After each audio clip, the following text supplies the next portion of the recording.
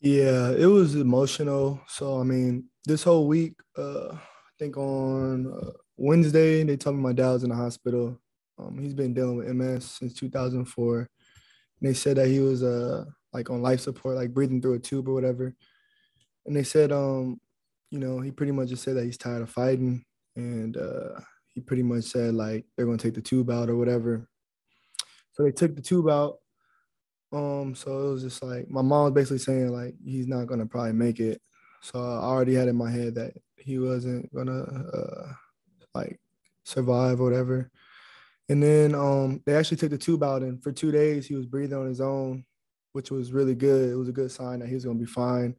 And then literally, like literally right before we was about to um, go on the field, my cousins were texting me saying condolences to your dad. Um, and then my uncle texted me like, you know, your dad passed away, like rest in peace, whatever.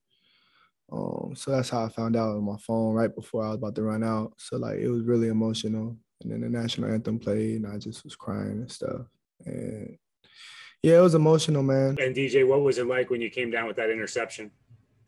Yeah, man. I honestly forgot about the score and all that. I didn't really.